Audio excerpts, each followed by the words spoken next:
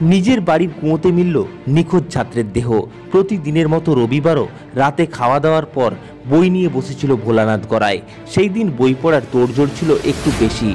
রাত এগারোটা হয়ে গেলে বাবা লালচাঁদ গড়াই শরীর খারাপ হতে পারে বলে তাকে শুয়ে পড়তে বলেন। তারপর তিনি নিজের রুমে শুতে চলে যান। পাশের রুমে ভাইকে নিয়ে ভোলানাথ গড়াই একাই থাকত। কিন্তু সোমবার সকাল থেকে তার ছেলের খোঁজ মিলছিল না। ঘটনাটি বাঁকুড়ার গঙ্গাজলঘাটি থানার লক্ষ্মণপুর গ্রামের। মৃতের বয়স পনেরো। সে লক্ষ্মণপুর যোগানন্দ পরমহংস বিদ্যালয়ের ছাত্র। এই বছর মাধ্যমিক দিত।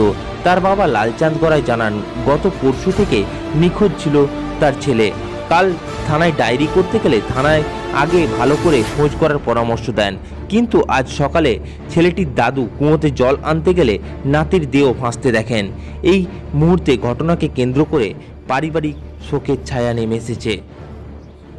আমরা তো কিছু জানি রাত্রে যখন এগারোটা বাজে তখন ওর মা বলছে আমিও বলছি যে দুজনে যে এ বাবা এবারে শু আর এত তখন পড়লে শরীর খারাপ হবে আর পড়িস ওটা এই সোমবার।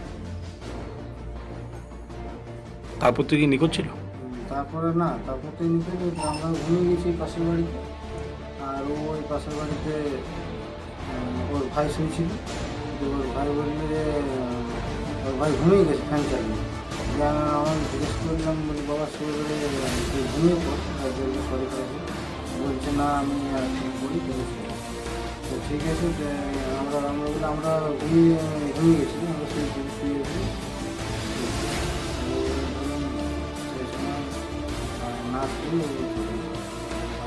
পরশু থেকে নিখোঁজ ছিল সকালে আমরা খোঁজ পেয়েছি সকালে আমরা দেখি আজ সকালে?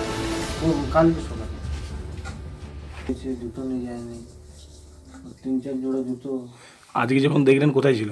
আজকে আমরা সকালে থানা কালকেও গিয়েছিলাম আজকেও থানা যাওয়ার জন্য রেডি হয়েছিলাম যে থানায় যাব। আর চতুর্দিকে খোঁজাখুঁজি চলছে রানীগঞ্জ স্টেশন গেছিলাম দুর্গাপুর স্টেশন আর আসানসোল স্টেশন মেজার মেজার যে আপনার বাস স্টেশন আজকে যখন দেখলেন কোথায় দেখলেন? আজকে আমি দেখিনি আমরা সব যাওয়ার জন্য রেডি হচ্ছিল আমার বাবা কুয়োর জলে স্নান করছে। জলে স্নান করছিল স্নান করতে করতে মা সামনে মা মনসা মন্দির আছে। মা মনসা মন্দিরে একটু মানসিক করব মা মনসা মন্দির প্রণাম করে দেবো। তো সেই যখন চা স্নান হয়ে গেছে বাবা তখন মন্দিরে যাচ্ছে। কুমোতে ছিল না? তো বাড়িতে কিন্তু এরকম অশান্তি ছিল কি? না না বাড়িতে আমাদের কোনোদিন অশান্তি আমার না বাড়িতে কোনোদিন অশান্তি নেই কোনো অভাব ছিল না। কোনো অভাব ছিল না আমাদের বাড়িতে। মানে কোনো গান বাজনা নিয়ে কোনো ঝামেলা? না, গান বাজনা নিয়ে কিছু হয়নি। আপনার নাম? লালচন করে পরিবার সূত্রে জানা যায় ভোলানাথ অত্যন্ত ভালো ছেলে, কিন্তু কি কারণে এমন ঘটনা ঘটালো আমরা বুঝতে পারছি না।